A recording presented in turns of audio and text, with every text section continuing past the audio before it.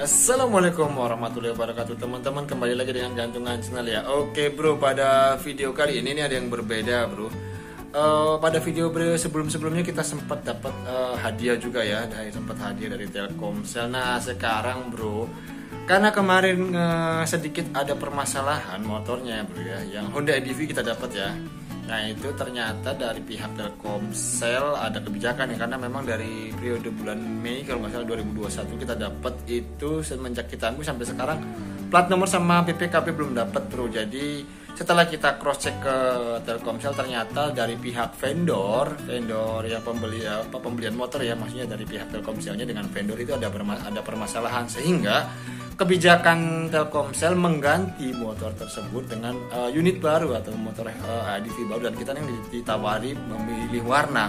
Karena memang sebelumnya bermasalah Telkomsel sama vendor yang motor yang kita sekarang di rumah ya. Jadi boleh ditukar gitu. Dan sekarang uh, sudah diinfo lagi dari pihak Telkomsel motornya sudah sampai nih bro unit penggantinya di Grapari CSP Cirebon ya. Jadi kita mau ngambil mau tukar unitnya nih. Untungnya bro ada kebijakan seperti itu. Mudah-mudahan nanti setelah ditukar unitnya dan STNK BPKB-nya cepat keluar bro ya. Dan katanya memang yang periode Mei hadiah yang dapat motor mungkin juga mobil juga ya.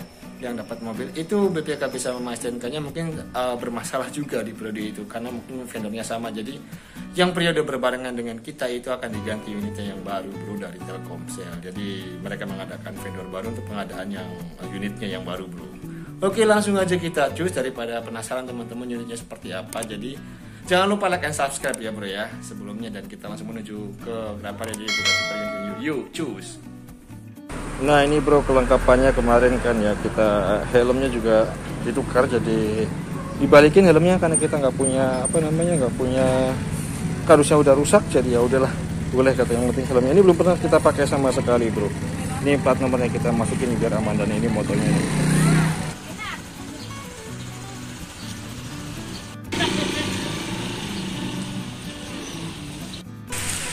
Oke bro, jadi ini kita ceritanya kehujanan. Jadi meneduh karena nggak bawa jas hujan bro. Ini dia. Hujannya lumayan deras. Jadi kita neduh dulu ya. Nanti setelah teduh kita langsung cus OTW bro. Oke bro, sekarang udah terang Jadi kita langsung Cus lagi aja yuk. Kita langsung OTW lagi yuk. Udah agak terang bro. Oke bro, jadi ini ceritanya kita kehujanan lagi. Jadi kita harus teduh lagi bro hujannya deras banget. Motornya jadi basah bro. Tapi nggak apa-apa. Ini bukan kita sushi tapi basah. Ini dia si ibu negara dan si kecil. Oke bro. Jadi kita udah sampai nih ceritanya. Ini geraparinya kita tinggal mau masuk ke dalam sana. Cuman masalahnya kan ini no, motor belum ada plat nomor nih. Jadi kita nanti apa akan konsultasi dulu ke pihak Rapari kita mau parkir di mana? Ini ada motor masuknya lewat sana bro. Cuman kan memang nggak bisa ya. Kalau nggak dapat nomor di mall kan nggak bisa masuk motor. Jadi kita mau koordinasi dulu bro Oke bro kita udah sampai di Telkomselnya kita mau masuk ke dalam yuk. Hmm. Ini dia bro. Hmm, basah. Nah ini dia bro spoiler motornya karena kemarin memang kita disuruh milih warna dan kita pilih warna putih. Ini bro spoilernya bro. Nanti tinggal saya terima aja nih bro. Tadi kan yang merah yang kita ini yang putih bro.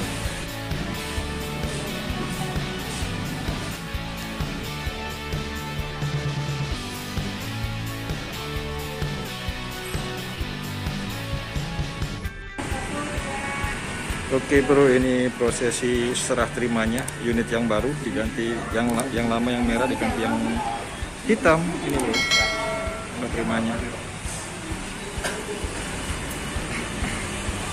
Ini mau ngetes dulu kuncinya. Ini prosesi angkut motornya bro dari Telkom dari kantor Grapari Telkom Sewa Cirebon mau dia ikut keluar. Jadi cuman jalannya bertangga-tangga gini nih.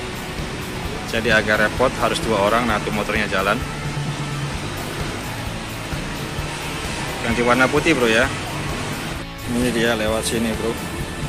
Ini harus diangkat nih motornya nih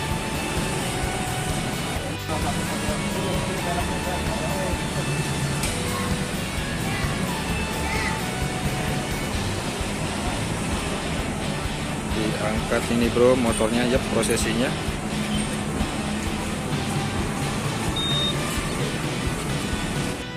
Oke bro seperti biasa tadi kita habis ngambil unit motornya itu bensinnya kan biasa ya cuman berapa dan kedip-kedip sekarang kita udah isi bro. Jadi kita sisanya udah habis ngisi bensin. Nah ini dia kilometernya masih low bro masih baru 3 km 3,7 km baru kita isi bro. Oke kita lanjut perjalanan pulang bro ya. Oke bro, ini dia unitnya sudah sampai rumah. Lupa ya kemarin kita shoot karena memang kehujanan bro posisinya. Jadi baru pagi ini. Baru baru pagi ini kita reviewnya bro. Ini ya. Unitnya bro. Ganti ya jadi dari merah ke warna putih. Ini karena kemarin kita hujanannya jadi kotor semua nih bro kotor semua. Oke terima kasih banget nih buat Telkomsel yang udah nuker motor kita yang merah jadi yang putih bro yang baru ya. Jadi kemarin udah sempet hampir satu tahun ya setengah tahun lebih lah. Plat nomor belum turun dan sekarang diganti lagi sama unit baru. Mudah-mudahan cepat plat nomornya turun nih.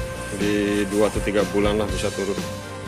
Cakep bro cuman kalau kita lihat lebih pendek daripada sebelumnya. Yang sebelumnya lebih tinggi yang merah ya karena keluaran pertama bro ini kayak lebih kecil gitu lebih ramping oke bro sekian dulu video dari gandengan channel ya Jangan lupa like and subscribe dan mudah-mudahan teman-teman di rumah juga dapat kesempatan mendapatkan hadiah langsung dari Telkomsel. Mudah-mudahan dapat mobil juga ya bro ya.